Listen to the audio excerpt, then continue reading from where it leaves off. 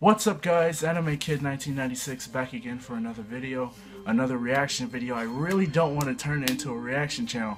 Um, so my brother tagged me in a post on Facebook saying that there was a new Kingdom Hearts 2.8 trailer. Apparently this is the last one. Um, Kingdom Hearts is my favorite video game series of all time. I've never come across anything like it. Final Fantasy is incredibly close, but Kingdom Hearts over everything. I love Kingdom Hearts more than anything on earth, honestly. But um, without further ado, we're gonna get going. This is too much rambling. I just, all right, I can't wait. Let's go. You better play that song. Play that song. 15th anniversary. Let's go. Wow. It, you already know. Song. Let's go.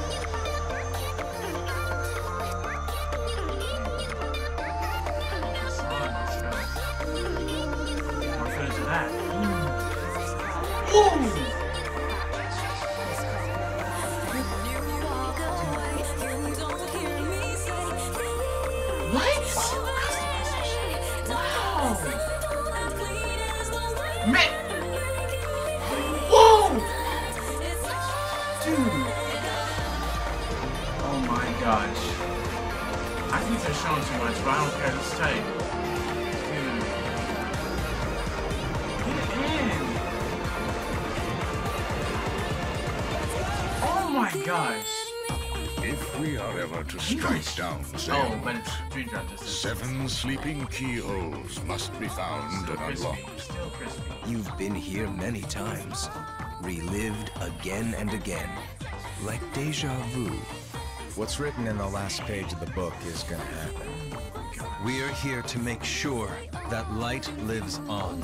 If we don't do something, light will expire. But Master, isn't there anything we can do? Terra, Ven, Aqua, can you see me? of course. I see Ven too. Sleep. Wait, you know this place, Aqua? I visited once, and I met two boys I considered passing the Keyblade I on to. have no words. Sora saved me once. And I heard him call my name. There are so many hearts that are connected to yours. Sora, see? That's why it has to be you.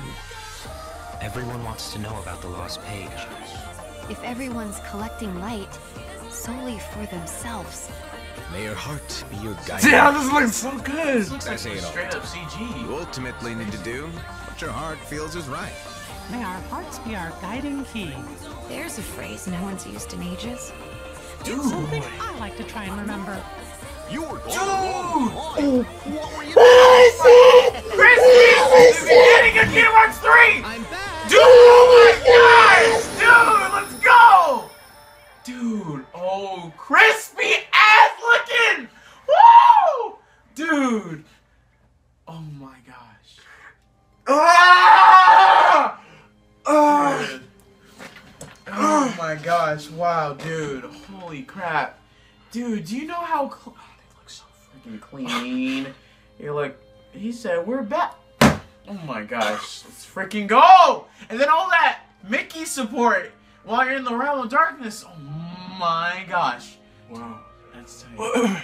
wow, this is gonna be the most we ever see Mickey in action in actual gameplay. We have to we have to watch it like six more times. I don't know to this, fully analyze it. and get all the Oh man, I I've been sweating. It was it was getting crazy at the end. You saw oh my gosh, what was Riku like had some weird suitcase and stuff? It was getting crazy He's- near the he's end. packing, getting ready for that battle.